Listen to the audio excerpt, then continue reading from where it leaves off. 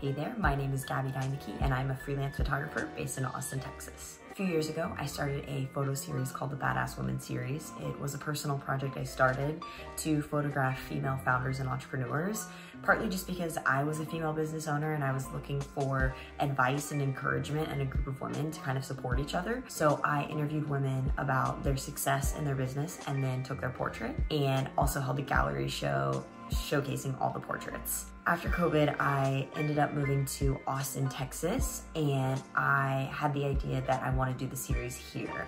I want to do 50 more portraits of female entrepreneurs, and this grant would help me do that. I'd also love to host a gallery show or some kind of space where women can come together, look at the portraits, read the quotes, and you know, be inspired. And I know with COVID that might not be possible, but it's really important for me to support and empower women, and that's why this grant would be really helpful for me.